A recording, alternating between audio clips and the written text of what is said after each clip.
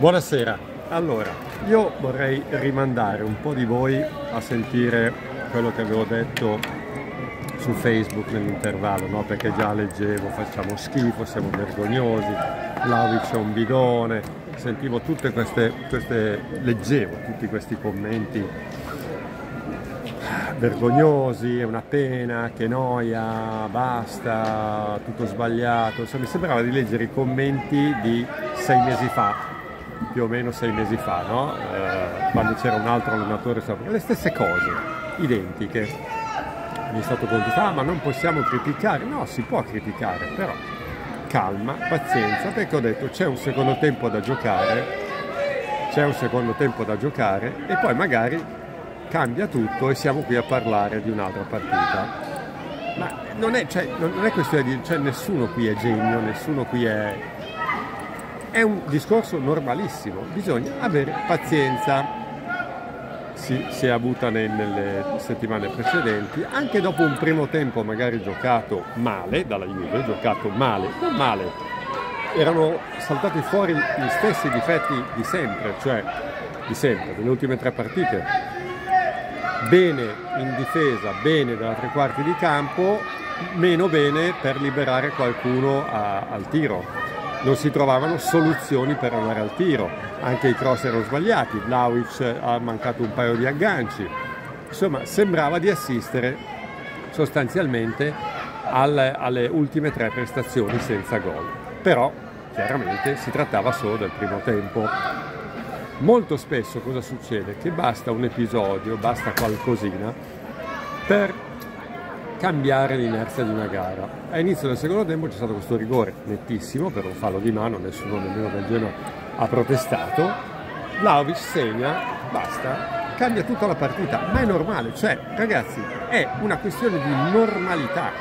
Vlaovic raddoppia, capocannoniere della Juve con 4 gol, intanto vituperato Vlaovic che è un bidone, che, una, che non sa toccare un pallone, che, che, che, è da mandare via, adesso intanto ha segnato 4 gol in campionato, di cui due su rigore, ok, ma il raddoppio è stata uno, una, la stessa azione di Empoli, solo che anzi più difficile se vogliamo è la messa nell'angolo più lontano. E, è per dire ragazzi, non che adesso la Juve è stratosferica, è fantastica, perché domani sui giornali si leggerà magari anche qualcosa di questo genere, l'esaltazione oltre misura di questa squadra che vince la terza partita per 3-0, che non subisce gol nelle prime sei giornate e questo sì, è un grosso vanto per questa squadra. 6 per 9 eh, 54, 540 minuti senza subire gol, credo che sia mm, importantissimo questo come dato, no? Ok, quindi adesso ci sarà l'esaltazione oltre misura perché? Perché, perché non, c'è, non, c'è, equilibrio, perché non c'è, non, non c'è voglia di fermarsi ad analizzare le cose. La Juve ha sbloccato tutto grazie a questo rigore sacrosanto ed è normale che lì trovi un impulso nuovo, è normale che ti scorre più adrenalina, è normale che ti vengono le cose che nel primo tempo non ti venivano o che nelle due partite precedenti non ti venivano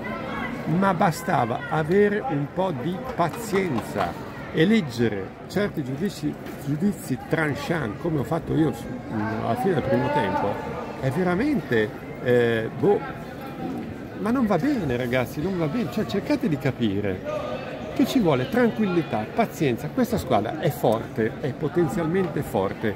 L'altro giorno ho detto ha un potenziale enorme ed è vero, ha un potenziale enorme. Si tratta semplicemente di attendere, di aspettare, di avere pazienza, di fare in modo che ognuno trovi la sua collocazione, di fare in modo che ognuno dia il 100% e possa darlo magari raggiungendo un livello di ehm, gamba e di velocità consone alla, alla, preparazione svolta. Non è una squadra, cioè è una squadra forte questa, poi io non lo so dove potrà arrivare.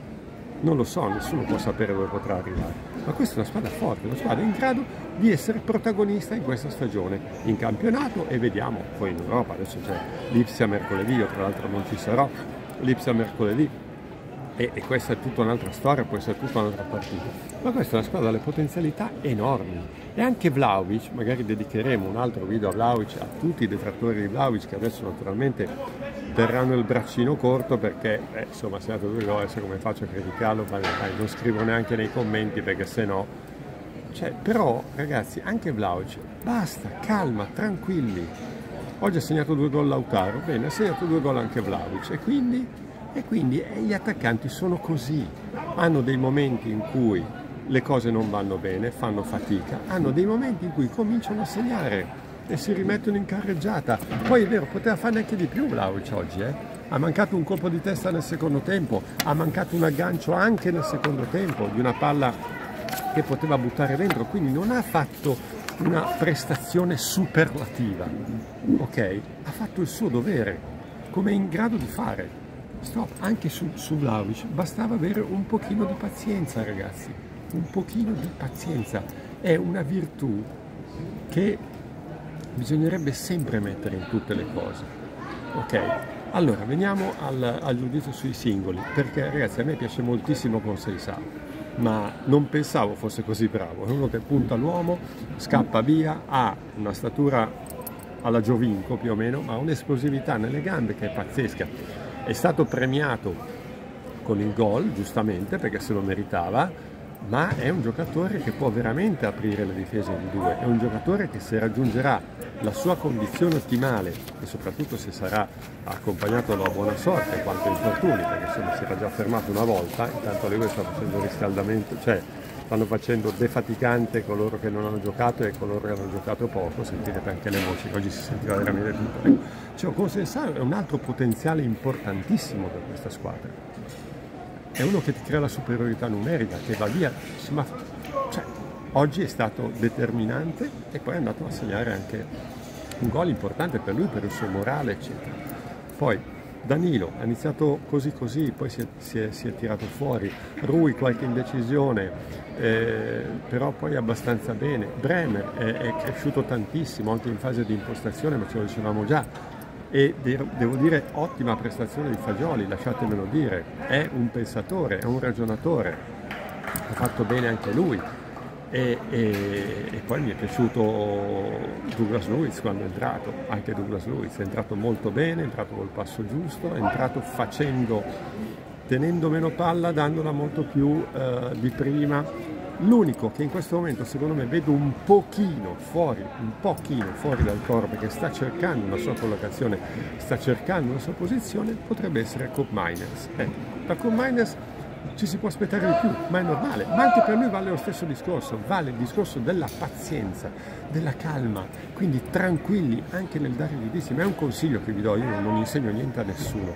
l'ho imparato in tanti anni di esperienza, ci vuole un pochino di pazienza e poi se il potenziale c'è e il potenziale c'è, le cose vengono fuori. Ragazzi, le cose vengono fuori. Per oggi la chiudo qua, approfondiremo i concetti poi nei, nei prossimi giorni, ok? Iscrivetevi al canale e ci vediamo domani naturalmente. Ciao ciao da Marassi.